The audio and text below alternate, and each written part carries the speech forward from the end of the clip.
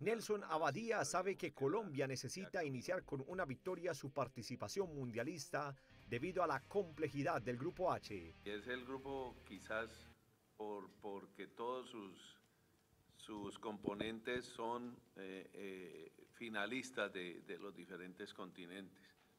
Sabíamos que es un, eh, un grupo muy competitivo, muy competitivo y profundizamos, hemos ido profundizando con todos y cada uno de los rivales que nos toca, el saber eh, cuáles son sus grandes virtudes, cuáles son también sus debilidades, dónde podemos nosotros eh, sacar provecho.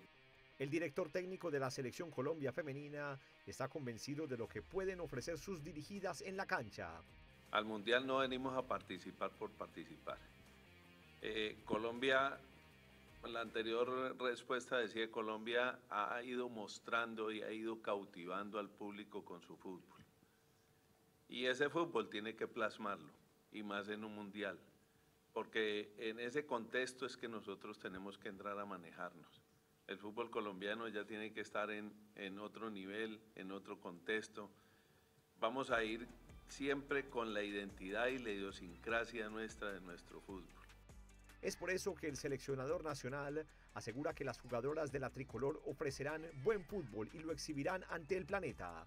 Esta selección ha ido cautivando a la afición futbolística del país. Y eso es por lo que ellas están haciendo en la cancha. Yo repito mucho ese sentir y ese querer, porque es lo que ellas transmiten. Y soy un convencido que el, el fútbol es de la cancha para la tribuna. Y eso nos ha hecho crecer. Nelson Abadía no estará en el banquillo técnico dirigiendo el compromiso frente a las coreanas debido a una suspensión vigente. Su primera asistente, Angelo Marsiglia, será su reemplazo en la línea técnica.